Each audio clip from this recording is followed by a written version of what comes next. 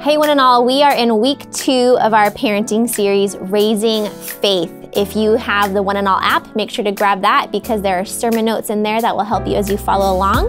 And let's get into it and hear what Dave Stone has prepared for us today.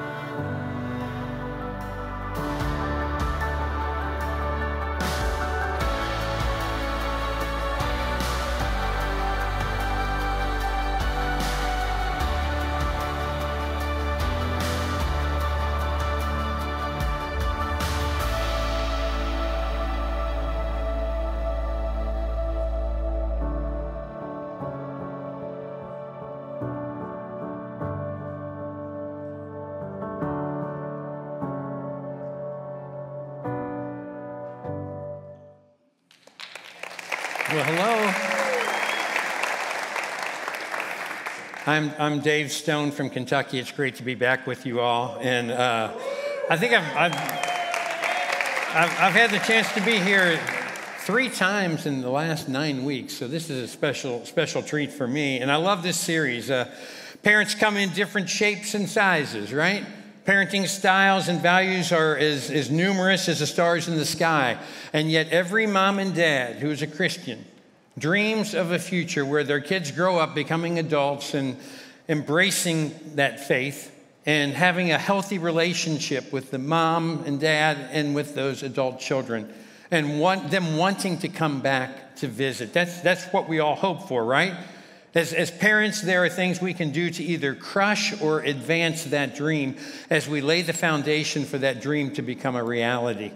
And I love this series, Raising Faith. And Jeff's first message last week gave us a great start. Uh, I, I love that, and I'm going to refer back to that several times. If you missed last week, I want to encourage you to go back and catch that online. Now, my wife, uh, Beth, and me, we have three children and we have 11 grandchildren. And so uh, I, I, love to preach on this topic. I, I always have because I believe the parenting avails us the greatest opportunity to affect the spiritual trajectory of the next generation. I really believe that.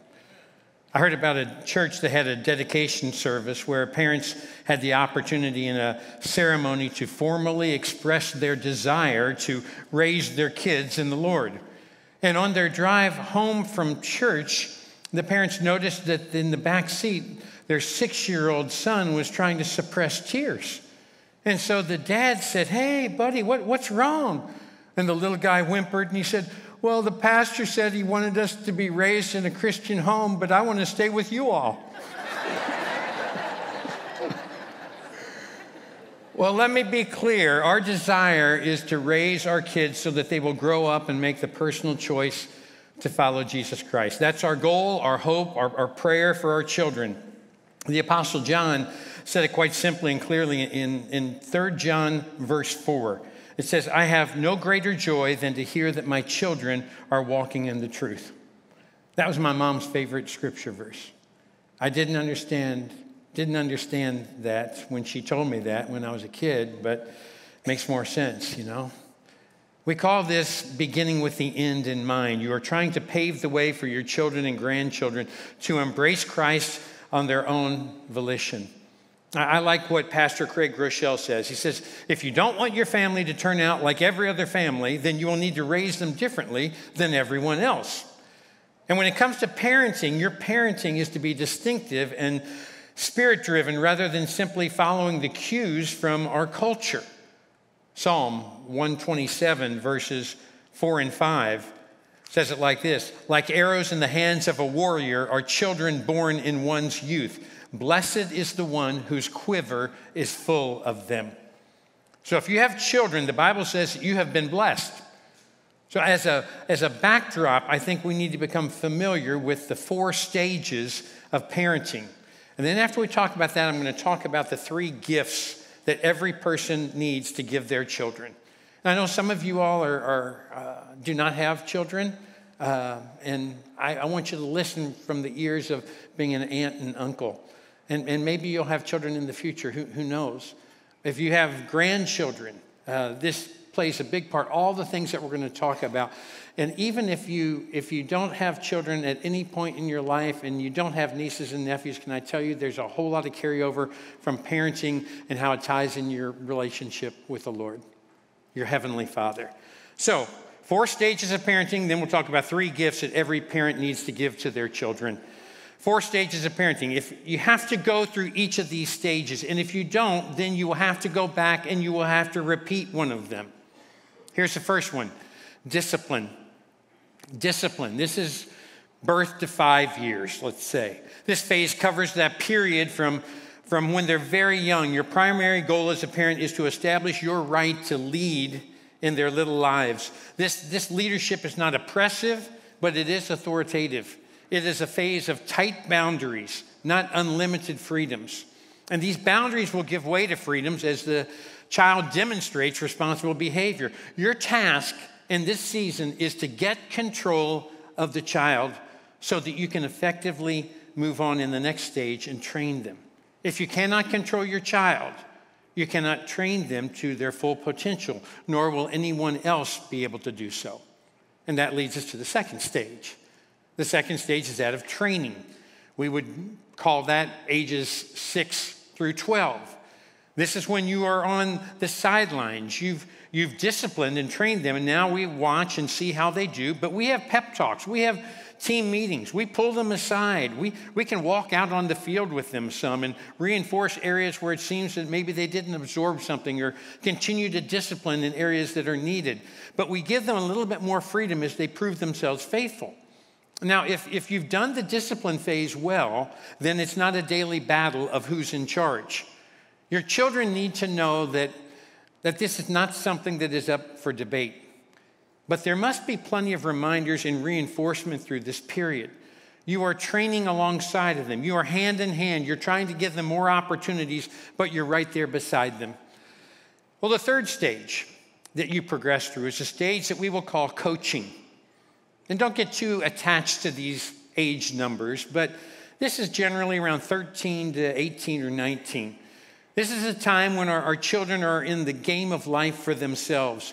We can send in plays from the sidelines, we can huddle up during timeouts, but we can no longer stop the game for extended periods of time and show them how to act and how to treat others. They, they now progressively are learning to call the plays themselves and to move forward. And parents are an active resource during this time as they provide assistance to them. Well, the final stage is the one that we're all working towards relationally, and that is friendship. Maybe that's 20 and older, I, don't know exactly, but this is the crown. This is the reward. It is the relational goal of our parenting, and that is friendship with our children. This is a new season of life when our kids become adults and, and they become our friends. And now, in the friendship stage, the parent child relationship does not cease. It's just that the parent and child relationship enters into a new stage, a new season of life. It is a disciple making relationship that has progressed through the years and now it culminates in this form of friendship. Now, there are a number of permissive parents who make the mistake of trying to enter the friendship stage earlier than they should. It may be when the child is 10 years old or 14 years old and they try to be their, their child's buddy, but, but you're not your child's buddy. And, and they don't need you as a friend, they need you as a parent. And sometimes parents will try to be the cool mom or they'll try to be the cool dad. They want to be friends with their 14 year old. But their parent will say, I, I, want my child to like me. And I, I understand that. I want my kids to like me too. But that's not what they need now. They need you as that parental figure in their life who lovingly helps to coach and give them wise counsel. Those are the four stages of parenting. And I'll say it again if, if you skip a step, or you slack off in one of those, you'll have to go back and repeat it. And so it's, it's better to do it as you go. Now let's talk the rest of the message about three gifts that every parent must give to their children. Here's the first one consistent discipline. You say, well, that doesn't sound like a gift. If you're a kid sitting in there, you're going, that doesn't sound like a gift to me, right? Well, Jeff talked about this last week from this passage in Ephesians 6. So we won't spend a lot of time on this, on this point, but it's worth underscoring and emphasizing the importance of discipline. I think it's probably one of the ones that is lacking uh, in our society more than some of the others. But it's worth underscoring and emphasizing the importance of discipline. The Bible teaches that God disciplines each of us. Discipline grows out of love. In Hebrews chapter 12, verses 5 and 6, it says, My son, do not make light of the Lord's discipline and do not lose heart when he rebukes you, because the Lord disciplines the one he loves. And parents, you need to know that, that you discipline out of love and that the way you discipline shapes your child's view of who God is. It is another method or way to show a healthy relationship with the Lord and to encourage your children to follow in God's ways. I mean, think about it. There, there are these two words there's the word discipline and there's the word disciple. And they both come from the same root word. And the end goal is the same with both. And that's coming alongside to teach to train, to model. And that's why God sent Jesus to show us the way. It sounds kind of like what we as parents are trying to do with our kids. We discipline our children because we love our children. And whether you're a single parent or whether you've been married for years, being consistent in your discipline is an ongoing challenge. If an unacceptable behavior is allowed one day, but disciplined the next day, your child will become confused. And over time, confusion leads to chaos. And if, as a parent, your bark is worse than your bite, then your child will quickly realize that you are just a threatening parent who never follows through. So be consistent. Grandparents. Grandparents, by, by the way, that is the fastest growing segment of parents. The latest survey, I just heard this last week, uh, reveals that there are 2 million grandparents who are the sole person who is raising uh, that child. And I think that's going to continue. Uh, you do know why grandparents and, and, grandchildren get along so well. They both share a common enemy. Uh, so, I'll let that just sink in for a second, all right? Grandparents, at, at times you may be involved in disciplining your grandchildren. If if you have the parent's blessing. You are part of that process trying to reinforce the principles that you're trying to pass along to your children. And while you may not administer the discipline or, or, loss of privileges, you can pass that observation and information along to the parents.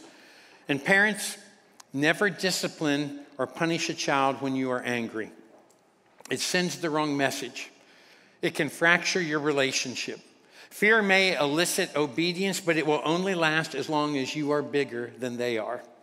So make certain that, that you think it through, that you pray about it, and that you are under control. You have different bargaining tools based upon the child's age or temperament. A phrase I heard my, my wife say whenever she would administer discipline uh, at times one of our kids was uh, when they'd start to say, Oh, I can't, well, no, and bellyache about something, she some privilege she had taken from them. She said, Oh, no, no, I, I didn't make that decision. That's your choice. You made that choice. That was your decision. So don't put this on me. And helping them see that there are consequences to our actions. And children are naturally curious and inquisitive, and very early on, a child will start to test the limits and they'll start pushing boundaries. It's, it's normal. It's an innate desire to try to test the system to find out where the lines have been drawn and what freedoms you have. So make certain you communicate your expectations clearly because kids inherently want and need boundaries. Uh, Jeff talked about that last week, and he underscored that children actually derive security because of boundaries. And discipline and structure communicate compassionate compassion and concern, regardless of the age of your children. And parents, again, who skip through that discipline stage in an effort to become their child's friend, are building the future on a fragile foundation for their family. If you skip it, you'll just have to go back and reteach it. Now, I'll be honest with you, I, I made a lot of mistakes in parenting. I especially made a lot of mistakes when we had our first child. And I remember there was, there was one day when uh, I was watching my firstborn, Savannah. She was two and a half years old. My wife, Beth, was, was doing something that afternoon. I was watching Savannah, and she got up on top of a chair. She started climbing across the, the kitchen uh, on top of a cabinet and she'd just been outside, her shoes were filthy, and she just started walking across like she was a lion and just growling. And she she's making a huge mess with her, her muddy shoes. I said, Does mommy let you do that? She said, No, but you do. and that's when I realized, oh, I, I need to step up my game. Be, because that's, that's not a good parent. And she knows that, that I was lighter on her than, than my wife was. Hebrews chapter 12, verse 11, that same chapter says, No discipline seems pleasant at the time, but painful. Later on, however, it produces a harvest of righteousness and peace for those who have been trained by it. Josh McDowell says it like this He says, Rules without a relationship lead to rebellion. And some parents will bend and continually give in to their child. Like I said, I struggled with that early on in my parenting. School teachers can tell the very first week of school, the first day of school, each fall, if, if the child rules the roost at home. If you lean toward lenience, your child will consistently play up to you, whether they are three or whether they are 16. They gravitate toward the parent that they can manipulate. And if one of the parents lives by a double standard, then the child will always choose the easier of the two. And when it comes to discipline and restrictions, you want this to be a progressive releasing. Let me show you a picture that I want you to think of. It's a good picture. It's a picture of an ice cream cone, right? Now, when you think about proper discipline in the process that we're trying to set up, I want you to think of that waffle cone right there. Look down at the very bottom of it, at the base of it, okay? That's the way it should be. Responsibilities and freedom, they're very tight when they're very young, just like that cone is at the bottom. At the base, uh, the freedom is very thin, but it widens as you go up. And so you give a child small amounts of freedom when they're young, and then gradually you give them more freedom as they prove themselves to be responsible as they mature. And in this method, you are repeating, you're encouraging, you are disciplining, and there are a lot of rules at the start. That's a good thing, but then they get more and more freedom, just like that waffle cone. And the, the wider it, it gets because they have proved themselves faithful. Here's the biblical pattern for parenting it's found in Matthew chapter 25, verse 23. I think it actually appears two times in that, in that chapter. It says, You have been faithful with a few things I will put you in charge of many things. And that's the pattern for parenting. My friend Chip Ingram says it like this He says, The parent who balances love and discipline without compromising produces well adjusted kids who maintain a positive relationship with mom and dad. This is a daily process of prayer, of working alongside, coming alongside of your child. So give consistent discipline. That's the first gift. Here's the second gift that, that every parent should give to their children, and that is frequent grace. God certainly models this quality for us on a regular basis. His amazing grace just keeps on going and going. Nothing grounds you, nothing sustains you, nothing keeps you going like God's grace. And that's so true. As, as parents, we need to model and extend that same grace at times to our children. Uh, realize they, they will disappoint you, they are human. Sometimes they need discipline for that. At other times, when they're expecting discipline, sometimes you need to offer grace because that, that might just be what they need. When I was 15 years old, I experienced every teenage boy's dream. My mom and dad went away on a trip with some friends for two and a half days. I thought, freedom! This is awesome.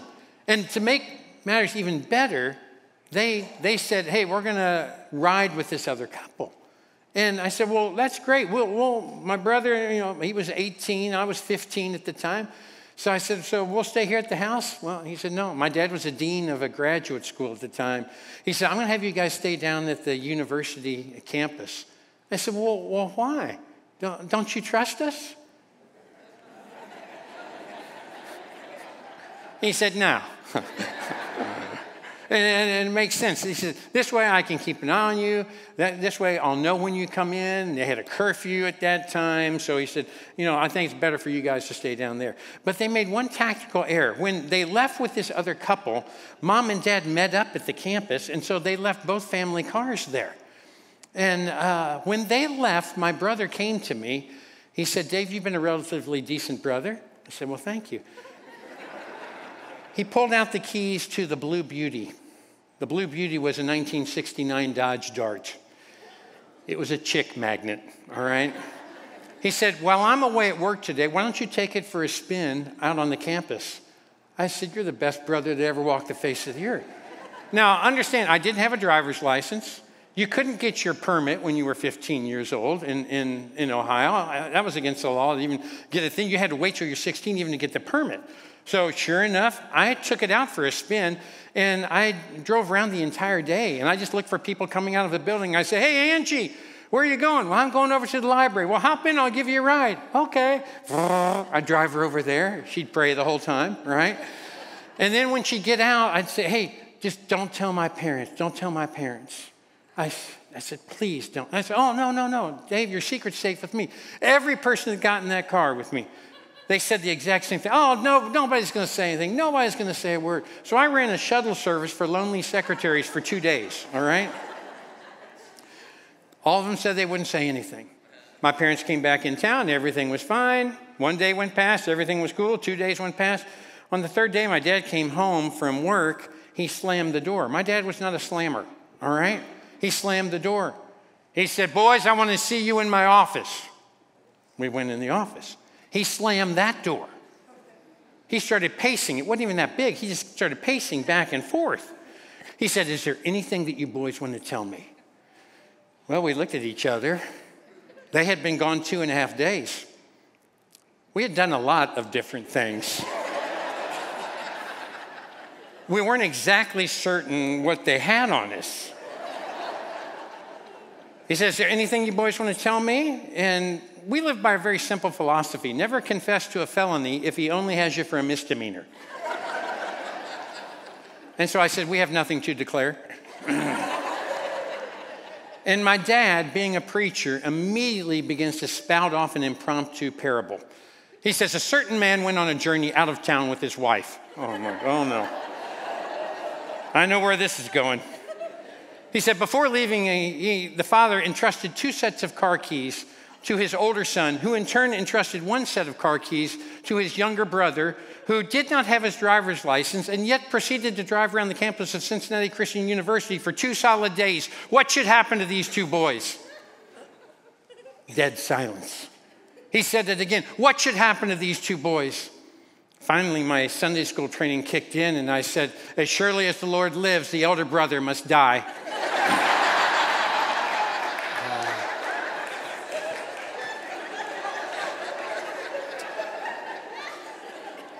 As I recall, my dad did not think it was that funny. and when I turned 16, a few weeks later, he came to me and said, Happy birthday, but he said, You're going to have to wait to get your driver's license. I said, Oh, man, it just, it was sticking a knife in. But two days later, he came in my room. He said, Let's go. I'm like, Prison? You know, I didn't know where he meant. He said, No. He said, Let's go get your license. I said, Are you serious? He said, Yeah, you drove for two days. I made you wait for two days. Let's go get your license. I said, You are awesome, man. Thank you so much. We show grace because we need grace, because we're all going to make mistakes. No one's got everything figured out. Parenting is a daily process of prayer and of working alongside with your child, and that even continues into adulthood. And if you say to me, Well, Dave, hey, I, I have blown it as a parent, I say, Join the club. I'm right there with you. But let's, let's learn from the past and not live in the past. I mean, my words have wounded my kids at times. My neglect has turned them from me at times. Maybe say my poor judgment has cost me credibility. Maybe say I've been detached and, and it's damaged my witness with them. And I, I honestly say, you know what? We're all in this support group together. We've all blown it. Have you repented before God and asked your kids for their forgiveness and committed to try to do better? That's what needs to take place. We're all going to make mistakes. You see, when it comes to your parenting, God is more concerned with your direction than he is your perfection. God is looking for consistency, He is looking for integrity, not a superficial facade or pretend religion. As a parent, He wants you to, to be the real deal. And we do that through consistent discipline, we do that through frequent grace. And then the final gift that I want you to give is unconditional love. I mean, you knew love had to be one of those gifts, right? God gives that to us freely, and your kids need to receive that from you. There's a passage that is often read at, at weddings. It describes love, a, a biblical love that we're striving to have for others. It's in 1 Corinthians 13. It's often called the love chapter. Verse 4 says, Love is patient, love is kind. It does not envy, it does not boast, it is not proud, it does not dishonor others. It is not self seeking. It is not easily angered. It keeps no record of wrongs. Love does not delight in evil, but rejoices with the truth. It always protects, always trusts, always hopes, always perseveres. You see, love is foundational to the family, and love is foundational to your faith. According to Jesus, love is to be the distinctive quality that makes you stand out from those who are not Christ followers. Your love is what makes you stand out from everyone else. Jesus said back in John chapter 13, verses 34 and 35, He says, A new command I give to you love one another as I have loved you. So you must love one another. By this, everyone will know that you are my disciples if you love one another. And parents, this is, this is, this is the area where we need you. Man, we need you in this. And one of the most tangible ways to express love is, is by sacrificing. That means at times you, you, you sacrifice some of the things that you enjoy doing for the sake of your kid. You know that. You've, you've done it time and time again. But when you give up your time, you know, man, I, I just got hit with a wave of thinking about when my son was playing baseball in high school. And uh, I'd get there as quickly as I could to those games. And uh, I'd try to make some noise, let him know when I was there. And every time we go back through after the game, he'd go through all his at bats with me. And I noticed that he always knew when I got there. He always knew exactly what inning I got there, how many outs there were. Didn't, didn't matter. He just he just looked for me walking, or he looked for my car pulling in. He looked for something, and he was always aware of it. Your kids see those little things. God is the ultimate parent, and he, he is always there. He always has time for you. He's available. If you, if you need to talk to him, he's there. Matthew 11, 28 through 30, you, you probably know this. Jesus says, Come to me, all you who are weary and burdened, and I will give you rest. Take my yoke upon you and learn from me, for I'm gentle and humble in heart, and you'll find rest for your souls. For my yoke is easy and my burden is light. God is there for us. In parenting, you are a representation of God to these little children. And God has time for his children. Do you have time for yours? Do you make time for them? There was a season when my son had not yet been born my daughters were both preschoolers. I was kind of enjoying the corporate climb rather than pouring into my wife and small children. I was saying yes to every speaking engagement. I was working 65 hours a week. I was a very driven workaholic at church. My self imposed quest to provide for my family was actually causing me to neglect my family. But all of that changed on a Father's Day 30 years ago. I was getting ready to preach, and uh, just before I was to preach this, this Father's Day sermon, there was a gal who, who sang a song, and the song that she sang was entitled Slow Down, Daddy. And she, I'll never forget, this song has the chorus repeated like four different times. And here's what the chorus said Slow down, Daddy, don't work so hard. We're proud of our house, we've got a big enough yard. Slow down, Daddy, we want you around. Daddy, please slow down. And she sang, and everybody clapped. And I confidently walked up to preach. And when I got there and opened my mouth, no words could come out.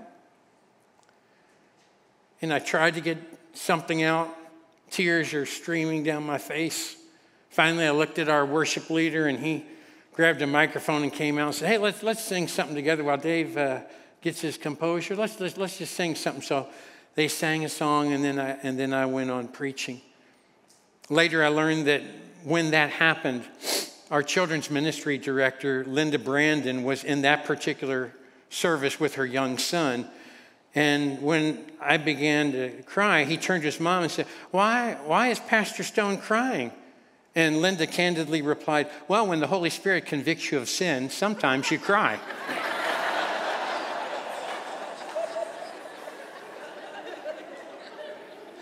she is no longer on our staff.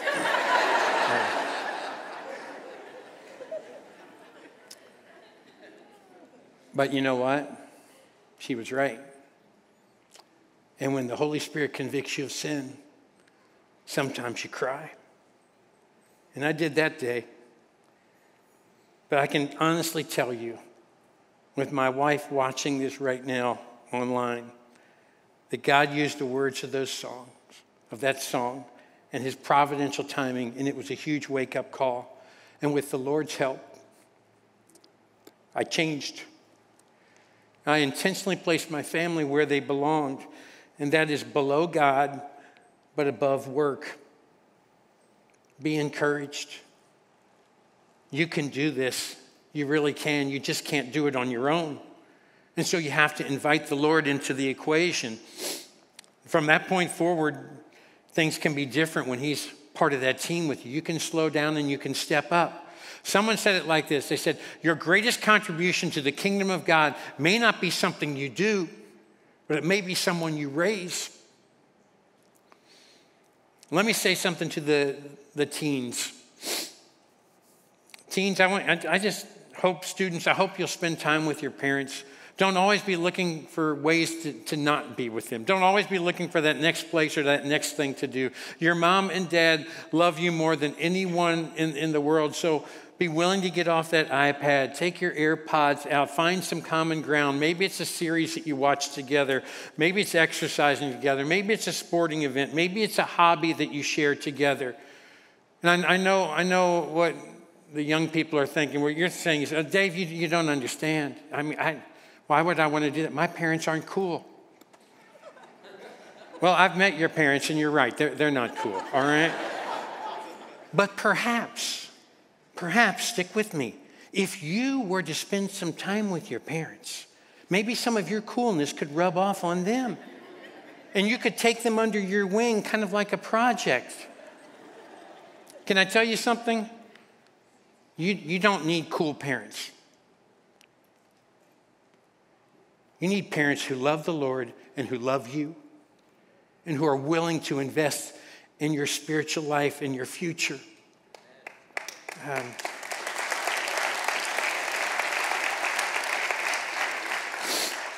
earlier, I, I, mentioned that the fastest growing segment of the population uh, who are raising kids is that of grandparents. And in some cases, God is using you to stand in the gap.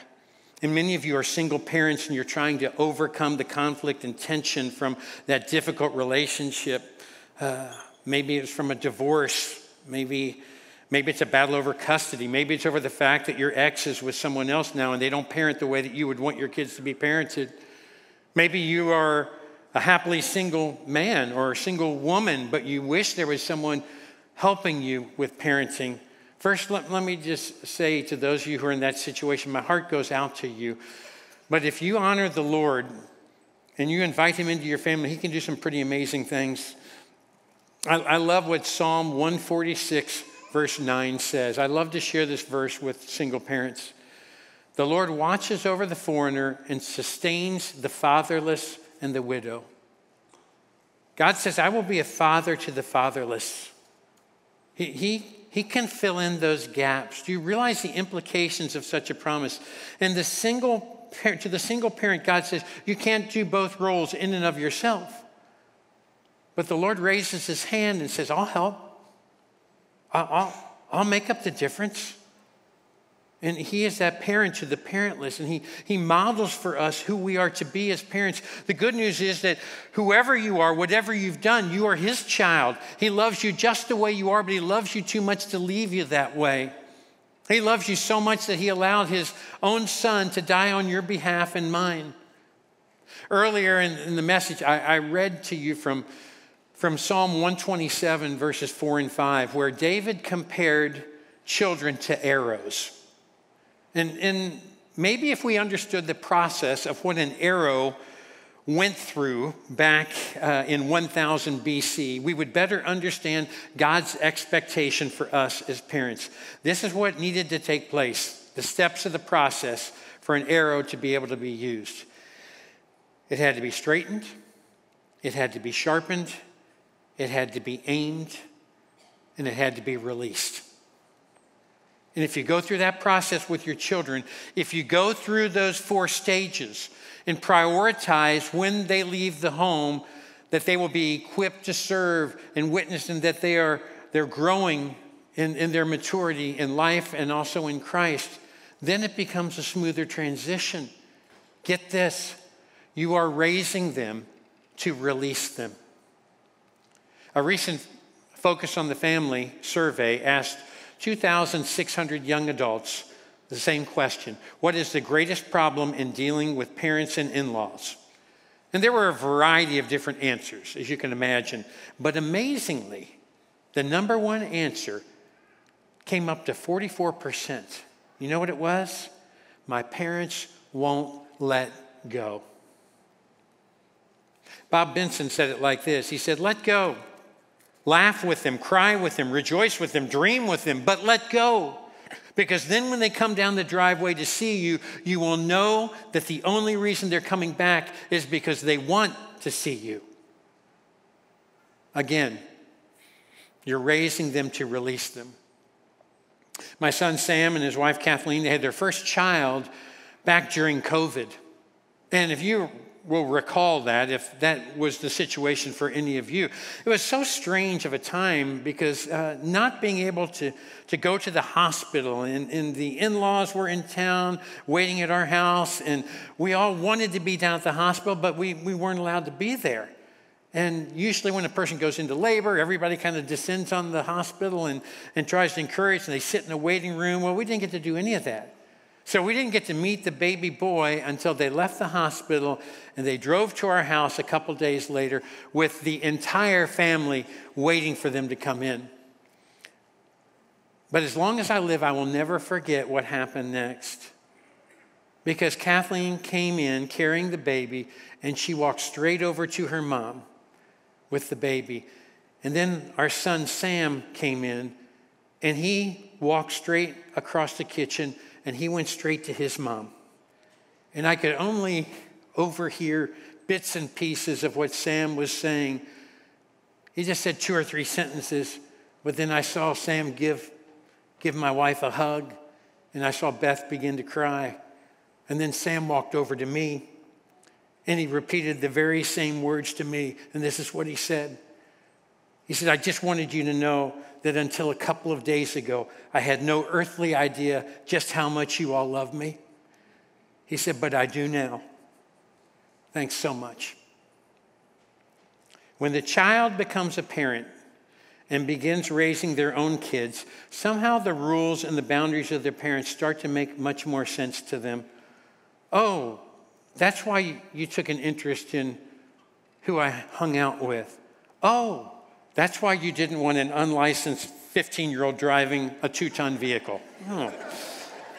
It's, it's because of love. You know, earlier I read from 1 Corinthians chapter 13, verses 4 through 7, from the love chapter. It's more of a description of how we are to be as Christians. And if you were to insert your name every time that love appears, would it accurately describe who you are in your interactions with others? But today, I want to do something different. Parents, I, I want to see if your love, the word love, describes you as a parent. And so, moms, ladies first, you might be 18, you might be 80. If you're a mom, I'm going to have you read 1 Corinthians 13, 4 through 7 out loud together. We're going to put it up on the screen, and you'll refer to mom in the singular sense because it is describing you. So, whether you have infants or whether you have adult children, if you are a mom, moms, let's just see if this describes who we are. Let's, let's walk through this and join me in saying this. Mom is patient. Mom is kind. Mom does not envy. Mom does not boast. Mom is not proud. Mom does not dishonor others. Mom is not self seeking. Mom is not easily angered. Mom keeps no record of wrongs. Mom does not delight in evil but rejoices with the truth. Mom always protects, always trusts, always hopes. Does that description fit the way that you parent moms? Okay, dads. It's your turn. I'm counting on you to say it a little louder than my sweet spirited moms at all of our campuses. Here we go, dads. Dad is patient. Dad is kind. Dad does not envy. Dad does not boast. Dad is not proud. Dad does not dishonor others. Dad is not self seeking. Dad is not easily angered. Dad keeps no record of wrongs. Dad does not delight in evil, but rejoices with the truth. Dad always protects, always trusts, always hopes, always perseveres. It all comes back to love. It all comes back to love. When you are raising them, you are raising them to release them. And it's tough to release your children, but when you think about it, that is exactly what our Heavenly Father did with each of us. He gave us free will. God has released you to make a choice, but that's not all He did. He released His one and only Son. And I'm sure it wasn't easy for God to release His only child from a perfect and safe environment and to place him into a fallen world where he would be a defensive, tiny, helpless baby dependent upon everyone around him. All the while knowing that at some point his son would be crucified. But God, God released him. And he did that so that we would have some earthly idea of just how much he loves us. I want you to pray with me if you would. Our Father in heaven, we, uh, we can't imagine what it was like for you to send your son down to earth from this perfect place to, to leave the hails of glory for the nails of Calvary. I, I can't imagine leaving a throne for a, a feeding trough, but that's what you allowed to happen, and that's what Jesus did. And we thank you that you released him so that we would have a means of salvation. And so, Lord, we, uh, we pray for every parent in this room. And we pray that the love we see in Jesus Christ would be the unconditional love that we show to our kids. I know every parent would, would say, Boy, I, I, I love my child more than, than anything in the world. And yet, if we were to ask kids, Do you feel loved by your parents?